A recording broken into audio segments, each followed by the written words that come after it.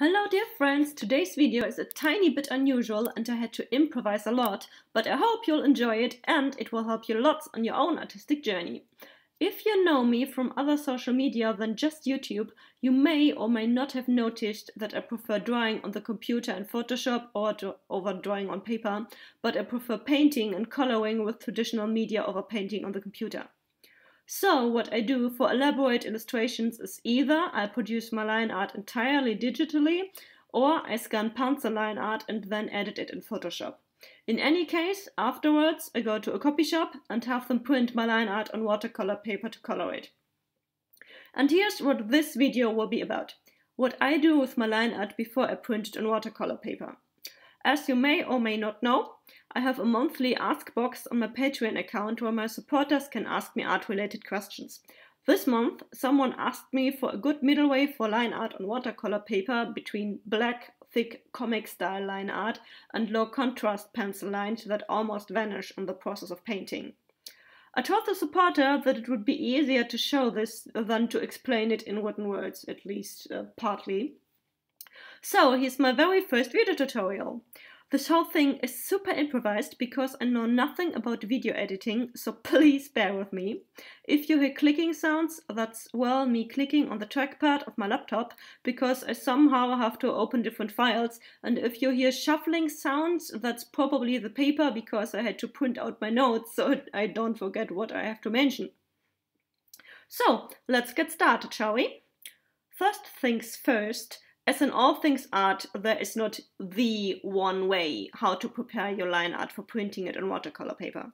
It depends on what you want to achieve with your painting. Thick, black, clean line art is perfect for some things and it is horrible for others. The same thing goes for subtle pencil line art, which is great for some things but horrible for others. So, what I'm gonna do is not give you one way how to do things, but showing you a few examples of what I did, and hopefully they will help you to find a good middle way for your line art, for your painting on your own. You, in this case, means both my dear patron who asked the question and all those people who might want to watch this video. So let's look at example number one here. This is a scanned and edited pencil drawing which produces softer, more subtle outlines in the final painting. So let's look at this scan in detail. The nice thing about pencil lines is that they're so soft and the lines are naturally vary in intensity, so that instantly makes paintings with pencil line art look less cartoony. Just so you know, I always edit my pencil line arts before printing them. In Photoshop but also in Clip Studio Paint there's an option that lets you edit the values in an image. My Photoshop is in German but it should be called curves, so let's go into this. So in German it says Bildkorrekturen, so I suppose in um, English it must be, must be something like image and corrections or something like that, and there you have curves. And you can change them.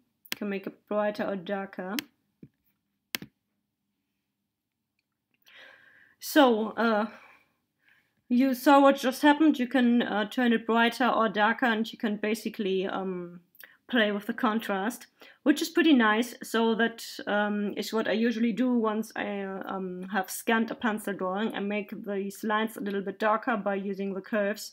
And I also kill some dirt and dust and erase lines by simply using uh, Photoshop's eraser and erase them properly. I also add a layer beneath my line art that is just plain white to properly see what I'm doing. So as you can see here, if I click that layer off, you only see very faint line art left. So it helps if you have a white layer underneath. By the way, if you have that file printed on paper, the printing service will handle the white layer underneath like a transparent layer, so don't worry add one, it will really help you when you clean your line art. And now let's look at the scan of the final painting, which is in a different window. Come here, please. Here we are. You will notice that the line art pops out really well in the lighter areas still, but it looks subtle in darker areas. I like that look, but if you want your line art to always pop out, or never, you can plan out the darker and lighter areas on the final painting ahead and then edit individual parts of your line art accordingly. And of course, you have to make your line art much darker in general if your painting will be very dark overall, or otherwise um, the lines will be covered by the paint and almost gone. Maybe that's what you want, but if it isn't, make sure to turn your line art darker. So, see here, in some parts it's still very much uh, well visible. In other areas, the line art is very subtle. Another thing you can do if you want it to be more subtle is color your line art. For example, violet very often works for many color schemes. So let's look at a different example. Please leave.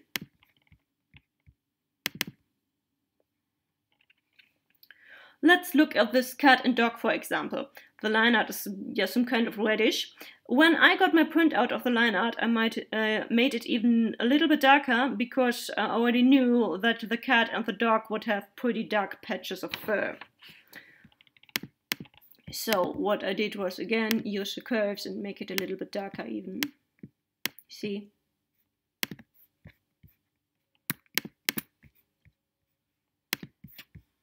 That's what it looks like colored. So afterwards, when I was done coloring, I still covered some of the lines um, in Copic white to imitate individual strands of fur reflecting sunlight and to make it look even softer. See here with the doggo. I'll have you know that not every brand of white paint will cover your line art, but that's a different topic altogether. For the moment, just accept that thick layers of Copic white will cover your line art. Use that to your advantage. If you want white paint that will only dull but not cover your line art, there's other paint for that as well. Also keep in mind that in some cases it might be much easier and also look better if you don't have line art in some places um, at all. It's okay for like just um, cover some single strands of hair with white paint, but you might not want to cover large areas with white paint afterwards you might want to leave the line art out of that altogether. I will also have you know that you can at least partly imitate the effects of soft pencil lines with digital drawing brushes as well. How well that imitation effect works will usually depend on how much of the line art will be left in your final painting. Let's look at examples for that as well. Come here, I want a piano. So look at this line art here. Um, that is my little sister's grand piano and it, uh, this line art is completely digital. Not a single line was drawn on paper. I also traced it from a photo that I took of that piano because I hate drawing inanimate objects and I just didn't want to do it. And afterwards I just cleaned and finished um, that tracing by hand. So let's zoom in, you can see it. Still very messy which you don't see afterwards because I printed it very large. And what you can also see here if you zoom in is that there's not a single speck of dust, no paper grain to be seen, no variation in color. That's perfectly black unless you color it um, something else. It's as clean as clean can because that's what digital lines do. But since these lines are so thin and large parts of the final painting are very dark, that still blends in very well and doesn't look out of place and it doesn't look cartoony. Proof here that's a scan of the final painting. So if you zoom in, you might still see that there's clean line art, but it pretty much blends well with the paint. So there's not much difference between pencil lines and these thin digital lines in this painting. Same thing with Let's Return to Animals with another cat, which I did. Look at this kitty here. This line art is digital as well, but the lines are very thin and some of them are even done with a pencil brush instead of Photoshop standard brushes. If you're interested in that brush, I mentioned it in my process video for this particular line art and put a link in the description. So please just go back to that video if you want to um, know more about that brush. For now, let's stick to topic. Um, the topic being line art and how to color it, and this line art almost vanishes in the final painting because the cat is black. Let me show you. Here's the cat in color. It's very black and the line art is almost gone. See? So, in, again, in this case, doesn't make much of a difference uh, what I do with the line art because in any case it's thin and almost vanishes. So, these are ways to make printed line art look less thick and cartoony if you want to use them for paintings. Now, however, you may have noticed that I, for one, like cartoons and comics. So at one point I actually did try out exactly that. What does thick, black, cartoony line art look like if I print it and color my line art in ink? Best way to find out is always giving it a try. So, Let's go back to one of my earlier fan arts of everyone's favorite water baby from Tales of Zestiria. That line art is also digital, but it's thick and black and not at all subtle and very cartoony. Because, hey, the original game is a JRPG and it is as anime as anime can, and I never intended to change that completely. I mean, I do like to give poor noseless anime characters proper noses and chins, but I didn't do anything about his Disney princess hips. So, anyway, um, you can see here that I have separate layers for the line art of Mikleo himself and of the line art for the water splashes. So, that's him and another line art just for the water. See? Um, and that layer with just the water splashes is set to 50% opacity, so it looks grey. You can do that in Photoshop and in Clip Studio Paint as well, and I suppose in every art program that supports layers. So I can make it thicker and blacker again, but that's not how I used it. I set it to 50% um, opacity. Okay, so that's what makes it look grey. First, I colored this line art in Photoshop in simple cel shading and I deleted uh, the layer for the water completely when I did that. So that looked like this. In case curious. See? No line art. I deleted that completely for the water. Water, please go away. So just you can see what it looks like without. No line art, just digital paint if you want. Ta-da!